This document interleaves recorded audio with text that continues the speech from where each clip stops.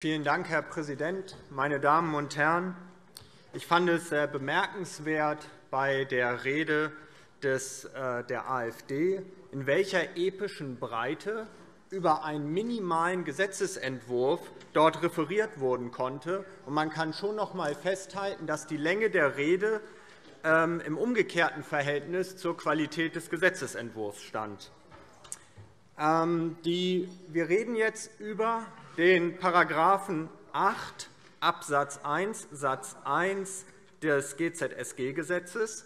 Es ist in der Tat so, dass bei Maßnahmen über 1 ähm, Million bei der Entnahme von Mitteln aus dem Sondervermögen der Haushaltsausschuss seine Zustimmung erteilen muss. In dem ursprünglich von der Landesregierung eingebrachten Gesetzentwurf war die Grenze noch 10 Millionen €.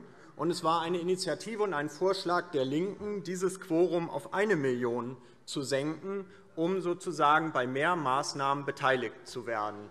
Das ist jetzt eine historische Interpretation, die sicherlich auf Seiten der CDU nicht so gern gehört wird, dass sie dann dem Vorschlag der LINKEN gefolgt sind. Aber ich denke, das ist auch in der Sache nicht entscheidend, von wem der Vorschlag kam. Ähm, die Zustimmung, das Zustimmungsquorum von 1 Million scheint sich aus unserer Sicht bewährt zu haben.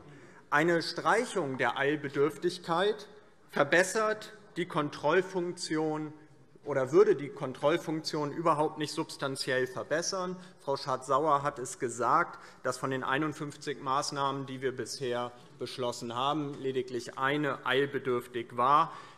Der Kollege Weiß hat darauf hingewiesen, dass wir in einer Pandemie äh, leben, in der eine Regierung auch kurzfristig handeln muss. Wir werden natürlich darauf achten, dass dieses Recht nicht missbraucht äh, wird. Aber bisher gibt es keinen Anlass, das äh, so zu sehen.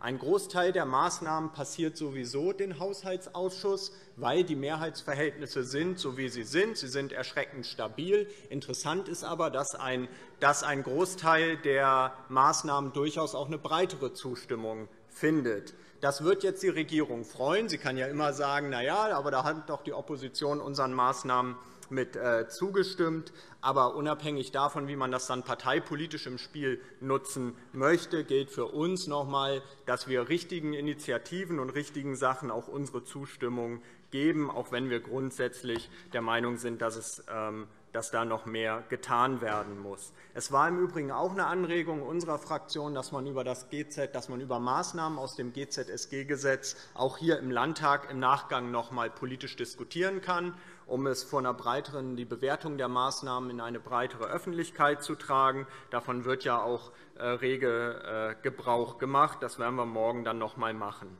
Insgesamt muss man sagen, dass, der Haushalt, dass die Kontrolle und der Einfluss des Parlaments über den Vollzug des Haushalts in dieser Form mit dem GZSG-Gesetz gestärkt äh, geworden äh, ist, weil nämlich in der Vergangenheit der Landtag beim Haushaltsvollzug lediglich im Nachgang über die Ausgaben informiert worden äh, ist, das dann auch politisch diskutieren konnte, aber eben nicht im Haushaltsvollzug mitentscheiden kann. Offen ist die Frage der Transparenz, also wie der Haushaltsentwurf insgesamt mit den Mitteln äh, des Sondervermögens korrespondiert, wie das ineinandergeht und wie das dann für den Landtag als Haushaltsgesetzgeber nachvollziehbar ist. Aber das werden wir dann im Rahmen der Haushaltsdiskussion noch äh, weiter debattieren. Im Grundsatz ist klar, wir sind in einer Krise. Diese schafft ähm, große Unsicherheiten. Millionen Menschen bangen um ihre Existenz. In einer solchen Situation ist es wichtig, auch öffentliche Mittel in die Hand äh, zu nehmen,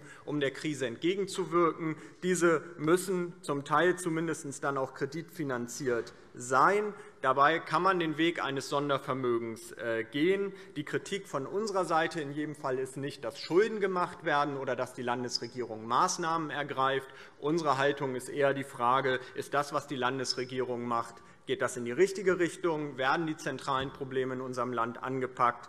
Mangel an bezahlbarer äh, Wohnraum, Diskussion um Verkehrswende, Armutsbekämpfung, oder werden die Mittel dann letztlich doch nur dafür genutzt, die schwarz-grünen Koalitionsvorhaben über die Legislatur äh, zu retten, auch wenn da im Einzelnen sinnvolle Maßnahmen dabei sind? Darüber müssen wir uns streiten. Dafür braucht es aber nicht einen minimalen Gesetzentwurf einer Fraktion, die nicht einmal in der Lage ist, eine kursorische Lesung so zu organisieren, dass auch alle Fraktionen daran vernünftig teilnehmen können. Vielen Dank.